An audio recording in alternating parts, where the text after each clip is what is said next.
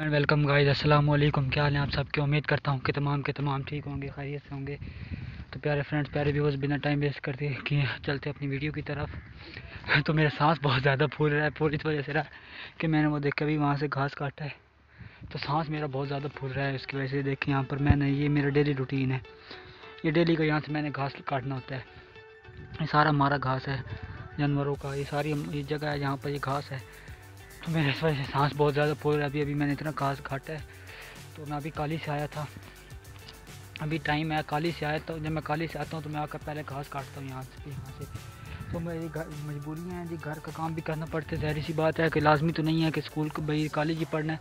हमारे यहाँ देहात में इस तरह नहीं होता है। साथ साथ हम पढ़ते हैं, साथ साथ हमें काम भी करना पड़ता है। अभी देखे, मैं काली से आया तो मैंने ये देखे इतना घास काटा। देखे यहाँ पर। तो मेरा सांस इस वजह से फूल रहा है, मैं आपके साथ बात करने में बड़ी प्रॉब्लम हो रही है। मैं थका, मैंने कहा, चलो एक वीडियो बना लूँ। तो प्यारे फ्रेंड मेरे प्यारे व्यूवर्स ये ये मैं यहाँ से घास काटा, उसके बाद मैं यहाँ पर वीडियो बना रहा हूँ, वो आपके सामने हूँ। तो यहाँ पर ये देखें मौसम मौसम के बारे में आपको चलो कुछ बता दूँ। मौसम प्यारा है। आंधी तूफ़ान रुक गए हैं, अल्लाह का शुक्र है। आंधी तूफ़ानों ने बहुत ज़्यादा आए हैं हमारे यहाँ पर। ये देखें हमारी फ़सलें हैं यहाँ पर। इनको अभी इतनी प्रॉब्लम नहीं हुई, इनको ये फ़ायदा बहुत हुआ है। हमें क्या, हमें तो बहुत किसानों को बहुत फ़ायदा हुआ है इन बारिशों से। क्योंकि इस वक्त गंदम को लगता है पानी, ये हमारी गंदम है, सारी यहाँ से, ये गंदम है। जी, जहाँ पर भी देखेंगे, जिस तरह भी देखेंगे, गंदम है। तो इससे किसानों को बहुत ज़्यादा फ़ायदा हुआ है। जो गंदम से, इस बारिश से किसानों को यानी बहुत ज़्यादा फ़ायदा हुआ है। ये जो रब ने बारिश दी ये रहमत की बारिश थी। यानी किसानों को तो फ़ायदा हुआ है इस चीज़ से, इस बारिश से। बाकी हर चीज़ में अल्लाह ने फ़ायदे भी रखे हैं, नुकसान भी रखे हैं। वो अल्लाह को पता है। ये देखे, हवा भी चल रही है हल्की हल्की और यहाँ पर मैं घास यानी डेली काटता हूँ। ये मेरी डेली की रूटीन है। जानवर मैं जब काली से आता हूँ तो मैं यहाँ पर काली से मैं आता हूँ। डेढ़ एक बजे के आसपास आ जाता हूँ। एक तीस एक तीस, दो दो भी हो जाते हैं कभी कभी क्योंकि दूर है ना, थोड़ा फिर यानी वहाँ आने में भी टाइम लग जाता है। तो मैं उसके बाद आता हूँ, खाना वगैरह खाता हूँ। उसके आने के बाद खाना वगैरह खा के तो फिर मैं घास काटने आ जाता हूँ। यहाँ पर मैं फिर डेली की रूटीन है। ये मेरी डेली यानी मैं, मेरा काम है ये घास काटना।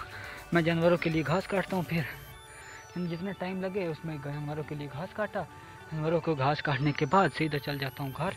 घर में फिर जो कोई थोड़ा बहुत काम होता है, ये मेरी डेली रूटीन है घास की। इस वजह से मेरा सांस बहुत ज़्यादा फूल रहा है।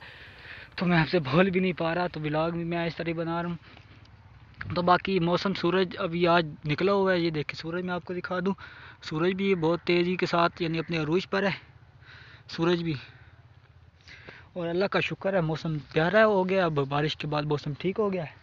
सुबह के टाइम अभी सर्दी होती है, सुबह और शाम के टाइम सर्दी है अभी। बाकी मौसम ठीक है, अल्लाह का शुक्र है, बिल्कुल ठीक है मौसम। तो बाकी यही मेरी आज की एक छोटी सी वीडियो थी। आपको अगर मेरी वीडियो अच्छी लगती हो तो भाइयों, लाइक, कमेंट कर दिया करो। ना अच्छी लगती हो तो ना किया करो। मेहरबानी होगी आप सबकी। तो मेरे तो ब्लॉग इस तरह के ही होंगे, इस तरह की वीडियो होंगी। अगर आपको अच्छे लगें तो चैनल को सब्सक्राइब भी कर दें। ना अच्छी लगें कि भाई मैसेज बहुत ज़्यादा आ रहे हैं। इसने मुझे एक तंग किया हुआ है। ये मैं बस करता हूँ वीडियो को इन मिलेंगे नेक्स्ट वीडियो में। बार बार मैसेज कॉल कर रहा है तो मैं वीडियो फिर फिर काट कट रही हैं। तो अल्लाह हाफिज़, इंशाल्लाह मिलेंगे नेक्स्ट वीडियो में। अपना रखे ख्याल, दुआ में याद रखे। अल्लाह हाफिज़।